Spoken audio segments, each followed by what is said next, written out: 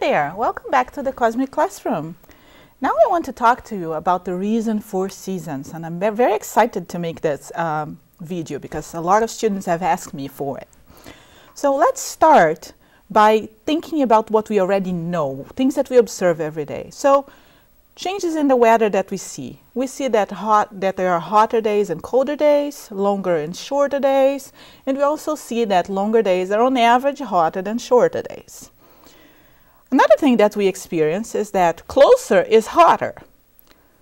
Together, if we put this together with the fact that we all heard that the orbit, Earth's orbit around the Sun is an ellipse, we erroneously come to the conclusion that summer is when the Sun is closest to the Earth and winter when the Sun is furthest from the Earth. This is not right. Let's talk about it. Let's see some more data and understand why. So let's look for more, look at more data. We take a picture of, uh, we take a picture of a certain location at the same time, let's say 11 a.m. One picture is taken in July and the other picture is taken in December. If we notice the sun is higher up in the sky as seen from the northern hemisphere in July than it is in December. The days are longer when the sun is higher up in the sky than when the sun is lower in the sky. And also the light from the sun hits Earth in a more direct path, in a more direct way during the summer than it does during the winter. So summer is when the sun is high up in the sky and, light and there, there, are, there are long days and the rays of light are reaching the ground almost perpendicularly. And winter is when the sun is low in the sky and the days are shorter and the rays of light are reaching the earth at more of an, more at an angle, at a more inclined angle. So let's revise this idea that the, the earth orbit around the sun is an ellipse. It is an ellipse, but it's a very, it's an ellipse of very small ellipticity. Look at the orbits of Mercury and the orbits of Mars. The solid and the dashed line represent the actual orbit and the orbit that would the planet would have if it was going in a perfect uh, in a perfect circle around the sun. We can clearly see that the orbit of Mercury is elliptical, very different from this uh, dotted line here. But for the Earth, we can't see the difference. One line is right on top of the other because Earth's ellipticity is very small. The uh, ellipticity, of its orbit around the Sun is very small. So this picture that you see in many textbooks, uh, that's trying to convey to you the idea that the orbit of the Earth is elliptical is most definitely not to scale. If you really get this, the, compare the distance from the Earth, Sun to the Earth, when the Earth is closest to the Sun, to the distance between the Earth and the Sun, when the Sun is furthest from the Earth, this difference is just about 3%, 3.4%. This difference in distance can only account for a difference of 4 degrees Fahrenheit or 2.6 degrees Celsius, no more than that. So it cannot be due to the fact that the orbit of the Earth around the Sun is elliptical that we have seasons. So let's keep this in mind and go on and observe and think a little bit more. Christmas in the Northern Hemisphere is snowy, right? But Christmas in the Southern Hemisphere is very different. It's very hot. It is summer in the Southern Hemisphere, where I'm from, during Christmas. And we are wearing our bikinis and going to the beach during Christmas, not in our snow gear. So it cannot be that the, the seasons are different in the northern and in the southern hemisphere due to the different distance between the Earth and the Sun. So what is it that causes, what is it that causes the seasons?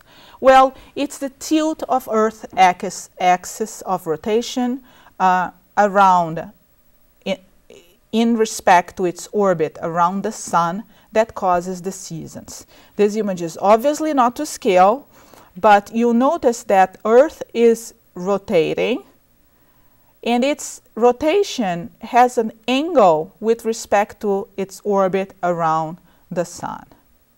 At this position right here, there is a lot of light hitting the northern hemisphere and directly hitting the northern hemisphere.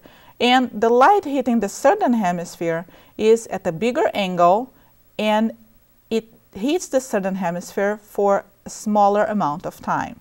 So at this time, it's summer in the northern hemisphere.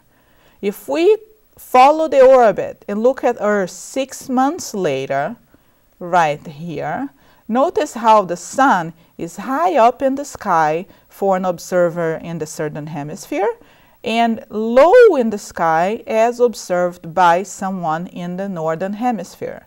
In this case, it's southern in the summer in the southern hemisphere and winter in the northern hemisphere. To help you visualize this a little bit more, I'll show you one more slide where you can see this from above. So here's another view from above. If you notice here, this yellow point is representing the North Pole, and the circle is the Arctic Circle. So if you look at this position here, during this time, when the Earth is at this position, the North Pole receives sunlight all the time. The Earth rotates, it becomes a day and night, but it's day all the time in the Northern uh, Pole. A lot of light is reaching the Northern Hemisphere. That's why it's summer in the Northern Hemisphere. And again, if we look six months later here, the North Pole is not illuminated at any time. It's uh, full darkness for 24 hours.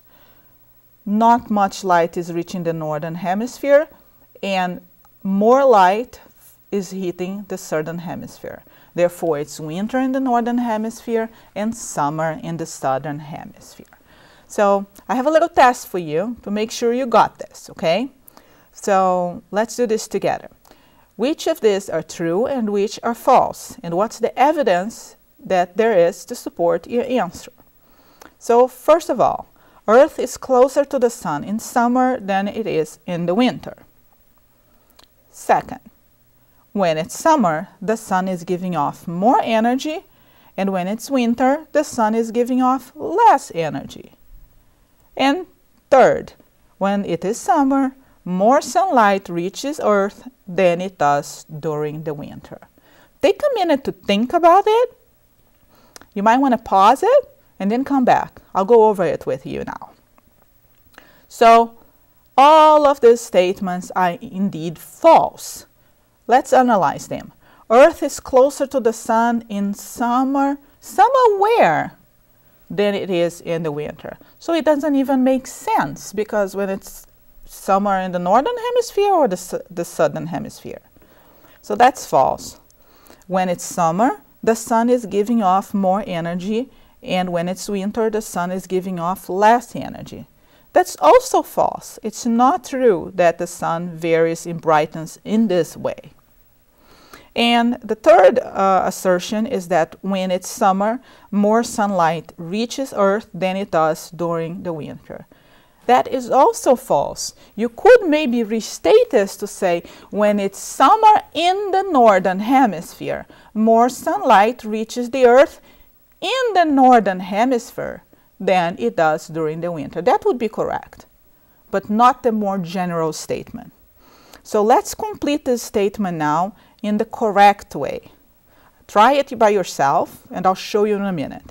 When the sun is, mm, it is summer, and when the sun is, it's winter. So you should have this. When the sun is highest in the sky, it is summer, and when it is, the sun is lowest in the sky, it is winter. It is the tilt of Earth's axis of rotation with respect to the plane described by its orbit around the sun that causes the season. I hope it's clear and I hope it helps. I'll see you next time.